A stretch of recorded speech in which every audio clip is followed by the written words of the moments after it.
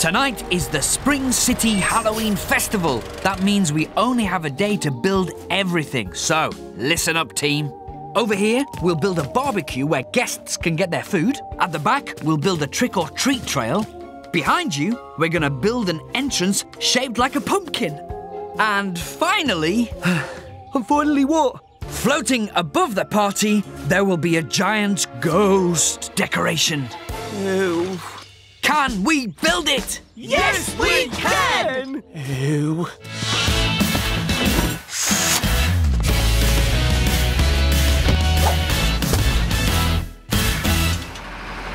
Ah, Lofty, there you are. Ew. I need you to collect the ghost decoration from Curtis. Are you sure it has to be me? Your crane is perfect for holding it. Well, uh, yes. Okay. The ghost is all ready to self-inflate. You pull a cord first, then it fills with air. So be careful not to knock the crate. Boy. Sudden movement will trigger the cord, so the ghost could fill with air when you don't want it to. Here it goes. I'm scared already. Let's get this goose delivered and quick. Uh, who's there? I'm not scared. I'm not scared. I'm not scared. This entrance is gonna be cool. Ah!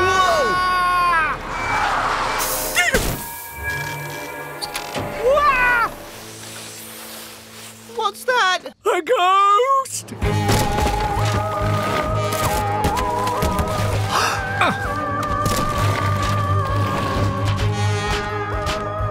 This is all my fault. I can help!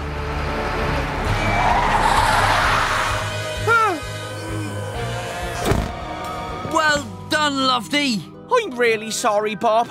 I shouldn't have dropped the ghost like that, only I was scared. I've attached new wires so the ghost can stay here until we're ready for it. We'd better get fixing.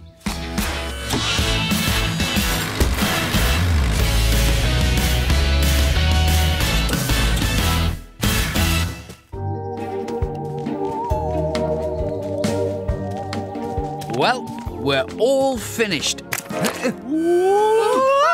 Oh, ah, guys, hold on, there's a ghost. We tricked Bob! Haha. Right, I better stop because I just scared myself.